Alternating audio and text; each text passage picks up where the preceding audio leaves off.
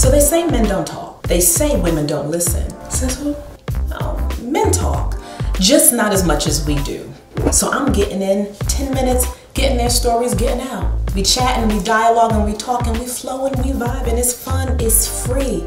This is Discussions. With Rae-Shan Nate.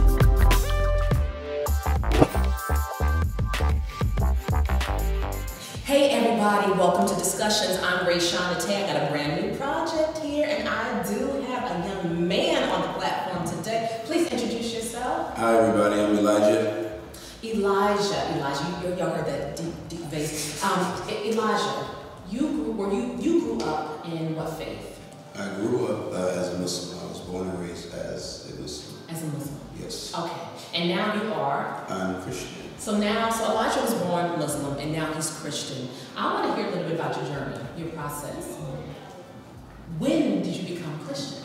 Um, around, I want to say, my sophomore year of high school. Okay, sophomore year of high school, but now I'm gonna back you up a little bit. Growing up Muslim, that's that was your faith. That's what you knew. That's what you were comfortable with. Yeah, growing up Muslim, that was mainly my, that was my faith, that's what I knew. Um, my mom and her dad, my grandfather um, was a minister, and my mom was in church, but I grew up Muslim because my dad was Muslim. Uh, so primarily that was my faith, and I was, you know, a devout Muslim uh, at that time. Okay. And so, did you ever look at other um, faiths or other religions and think like, oh, they're kind of like, you know, they're not, they're not Muslim. They're a little bit off. Um, yeah, Okay. um, especially in the Pentecostal church because of the whole charismatic type of thing to it and the running around and shouting and things like that. That all um, seemed to be pretty weird to me at that time. Okay. So and y'all and, and Elijah's in a charismatic Pentecostal church now where he is running around and doing the shouting and stuff. Okay, so now I want to know when did you start? When, when was the change? When, when did you start noticing a change? Um, my change first started, um, I want to say freshman year. Uh, my mom was in a relationship uh, with her husband at the time for a while. Um, I think at that time they were married for about 10 years, but together before that. And the relationship started to kind of go all different types of ways and things like that. And as a as a young child, um, you know, it only being me and my mom, and then my mom getting remarried and have a have now I have younger brothers and sisters and things like that. So I guess I would say that I was kind of a little overprotective, and uh, at the same time, I think it was necessary. And uh, so she started to go through different things like that, and as a child, I really couldn't deal with it.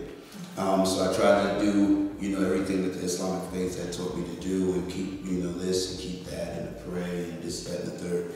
And uh, it just didn't seem to work. Um, so what I did was one of my friends, I had went to him and I was, you know, talking to him about it and things like that. He was saying, well, you should come to Bible study with me. Well, now And this was a Christian friend that you was. This Oh, was. so you had Christian friends. I did. Okay, you did. Now was your mom's husband Christian or was he? Um, you could say they was Christian, was- but you know how that goes. so so he was Christian. Your mom was Muslim, and she was. no, my mom was Christian. Oh, your mom was Christian. Yeah. Oh, So my dad and my mom never were married. My mom was. Christian, my dad is a Muslim. Okay. Yeah. So with that, so after that, I spoke with him, and he invited me to the church, and I came and I used to just sit for prayer meetings, you know, week after week after week after week. I just that seemed like the only place that I could really get a sense of peace. And uh, eventually, I finally joined the church, and then from there, um, I graduated high school, and I moved from up 78 and uh, close to Pennsylvania. I moved from there down to northern Jersey. Uh, went to nursing school, graduated there, and started working. And I kind of left church. You know, you do college, you do all that type of stuff, and um, you know, the whole drinking thing, party thing, the whole nine. And uh, I started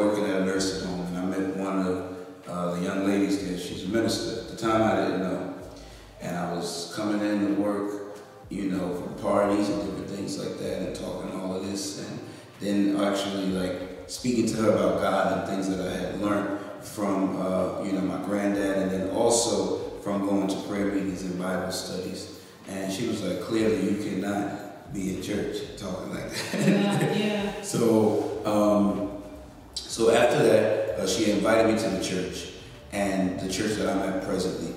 And uh, once she invited me to the church, I came, and I just couldn't get with it, you know, because it was like the whole running around.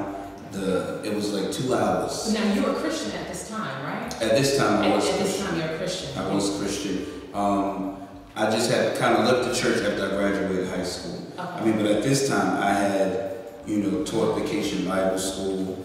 I had, uh, you know, did mission trips, foreign missions, and things like that at that time.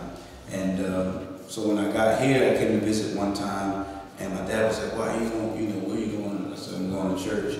You know, one of these ladies at the job want me to come, so I'm just going to visit this one time.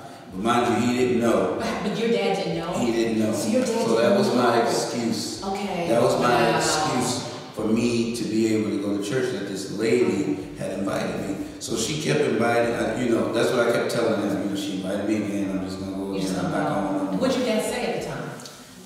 He really didn't. He really didn't kind of really bring it up because I was just being a guest. Okay. You know. So and then my faith, as he knew in Islam, was pretty strong. Okay. So it wasn't like no, you know, if ands or buts about it. I was really, you know, devoted to it. I mean, he didn't even know I gave my life to Christ in high school and things like that. Wow, you hid that from I hid that because I didn't know his reaction. Okay, and your dad is, is very prominent in the Yes. Islamic faith, Yes. right? Okay. Yes.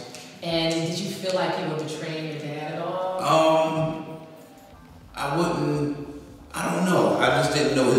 response. I didn't know how he would, how he would actually take it. You know, it's few of us in my in my family that are Christian, but they're more so distended family.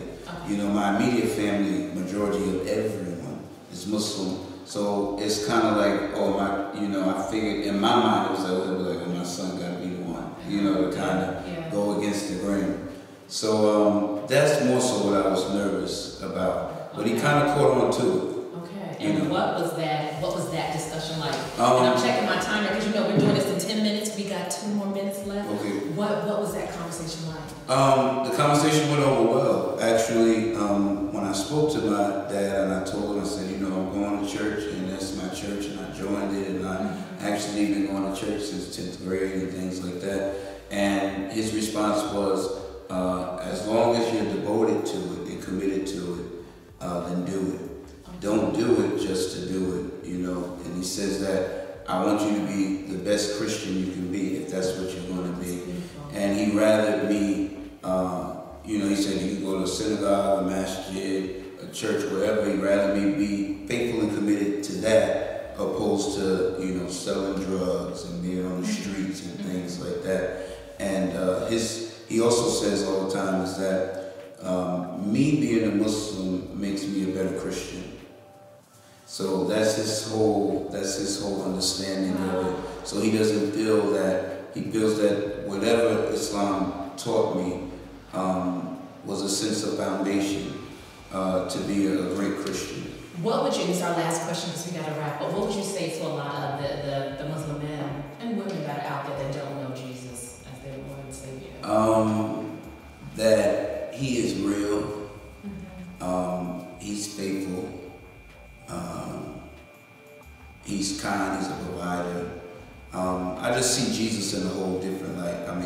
all in all. Um, And did you believe in Jesus before when you were Muslim? um, we believe in Jesus, but not him, the ch- the the Son of God, as a prophet. Okay, and was it the same God that you, you know, pray to, Islam and Christian Christianity? Well, it's um, it's only one God. okay, okay, But uh, they call him Allah. Okay. You know, that's how that goes. But uh, you know, I'm just thankful for where I am today.